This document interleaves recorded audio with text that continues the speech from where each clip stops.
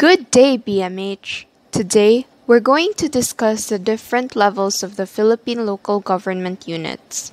We're also going to present the various leaders of the LGUs and the qualifications for each position. But before we can discuss everything, we first have to know what exactly is a Philippine local government unit. According to Atienza, the Philippine Local Government Unit is the lowest elected territorial organization within a state. Its main goal is to serve the people in their locality.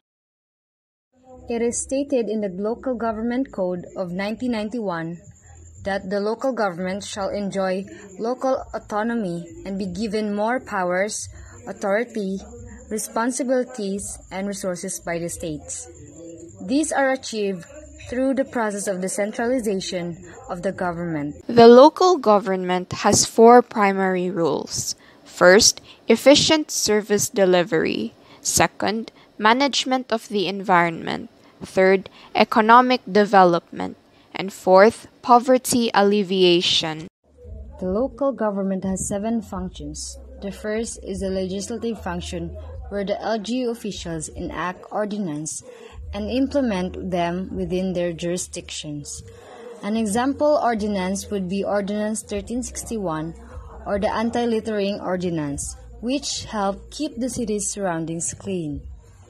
Other functions of the local government are quasi-judicial, taxation, local budget preparation, exercising the power of eminent domain, and maintenance and protection of public property.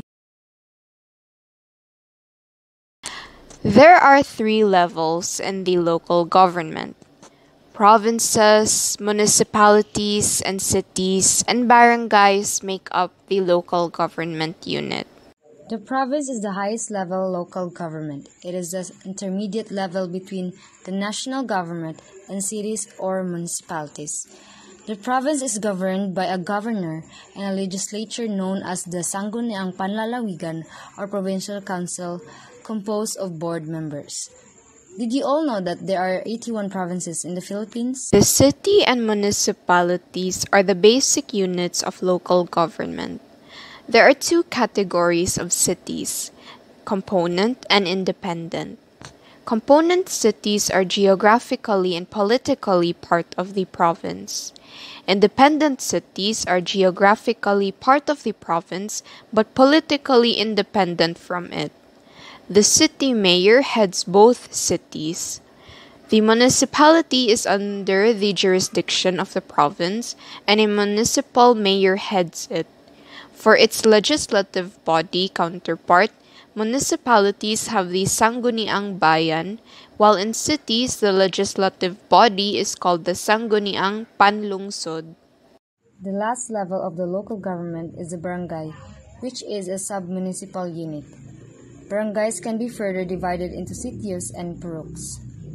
The barangay captain or punong barangay heads the barangay along the Sangguniang barangay composed of the captain, barangay councilors or barangay kagawads, and the Sangguniang kabataan chairman. The barangay makes it possible for face-to-face interaction between the people and the leaders. Here's an interesting fact. The president can only supervise the local government not control it. The president cannot entirely interfere with the local government affairs. Now, the local government unit has its different challenges.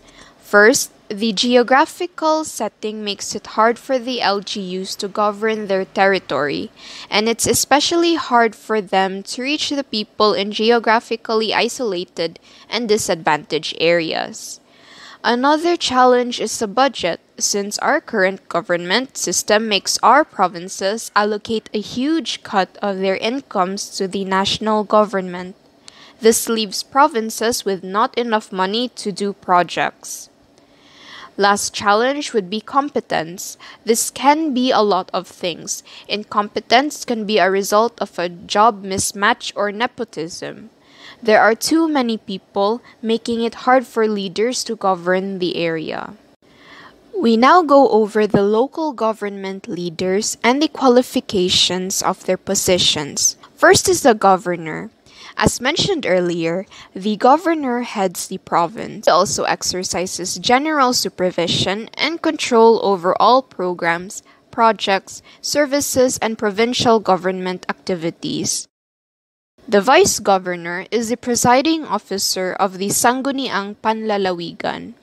He or she also appoints officials and employees of the Sanggunian assumes the office and exercises powers and duties of the governor in the event of a permanent vacancy. The qualifications to become a governor and a vice governor are the following He or she must be at least 23 years of age on election day, must be a citizen of the Philippines, a registered voter in the barangay municipality, city, or province where he or she proposes to be elected. Able to read and write Filipino, English, or any other local language or dialect. Next is the mayor. The mayor can either be a municipal or city mayor, depending on where they are. The mayor carries out emergency measures for disasters and calamities, orders the demolition of illegally constructed houses, buildings, or other structures in accordance with the law, and visits barangays at least once every six months to know and address the concerns of the officials and inhabitants. Here's an idea of what the mayor can do. So As you know, the pandemic happened, and what the late mayor of Cebu City did at that time was issue an executive order this executive order number 64 was crucial in preventing the spread of the COVID 19 in Cebu City. If the mayor hadn't issued the executive order, then everyone would have been infected by now. The vice mayor is the presiding officer of the Sangguniang Panlungsod. He or she can appoint officials and employees of the Sanggunian, assumes the office, and exercises powers and duties of the mayor in case of permanent vacancy. The qualifications to become a mayor and vice mayor are the following must be at least 21 years of age on election day, can be elected to a maximum of three consecutive terms, registered voter in the city where he or she intends to be elected, and others as stated in the law. We also have the councillors. They approve ordinances, pass resolutions, adopt measures to protect the inhabitants, assist victims in the event of disasters or calamities, and provide legal assistance to barangay officials. The qualifications to become a councillor are the following must be a citizen of the Philippines, registered voter in the city where he or she intends to be elected, resident of the city where he or she intends to be elected, and still others as mentioned in the law. The barangay officials govern the barangay. They promote peace and order by settling disputes between people, formulate measures to eradicate drug addiction, promote the well being of the youth and women's rights, and maintain barangay owned properties and infrastructures, cleanliness, and beautification of the barangay. An elective local official must be a citizen of the Philippines, a registered voter in the barangay, municipality, city, or province where he or she proposes to be elected.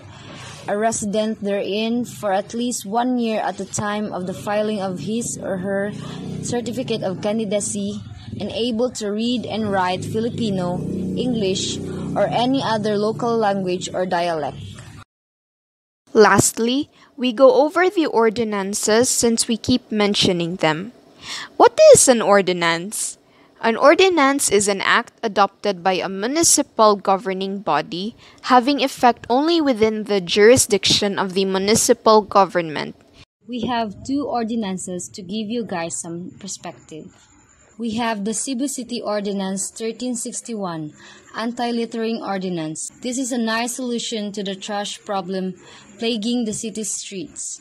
People need to know that their actions greatly impact the environment. This ordinance teaches them the importance of keeping their surroundings clean or else they'll get in trouble. Cebu City Ordinance 2031 Solid Waste Segregation at Source Ordinance. It is a good ordinance since it helps our waste problem. It is also has a good impact on our environment. This ordinance also brings out the discipline in people since they have to practice segregation in order for their trash to be collected. As we end the discussion, we'll leave you with two quotes. Valerie Jarrett once said, When you are in local government, you are on the ground, and you are looking into the eyes and hearts of the people you are there to serve. It teaches you to listen. It teaches you to be expansive in the people with whom you talk to. And I think that engagement gives you political judgment.